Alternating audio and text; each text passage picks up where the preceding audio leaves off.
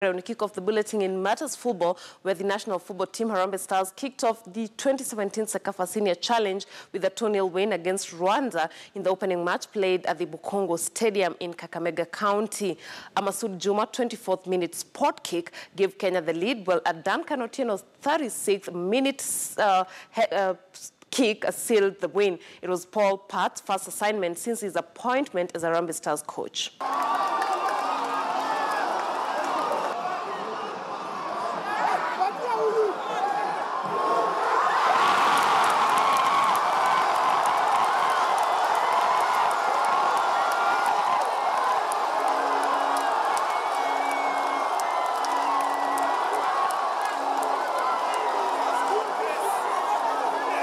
It was a very difficult pitch to play.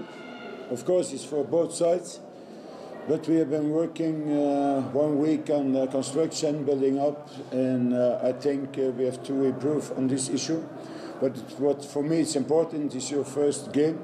Also, in first game in the tournament, it's uh, very important that you get a good result.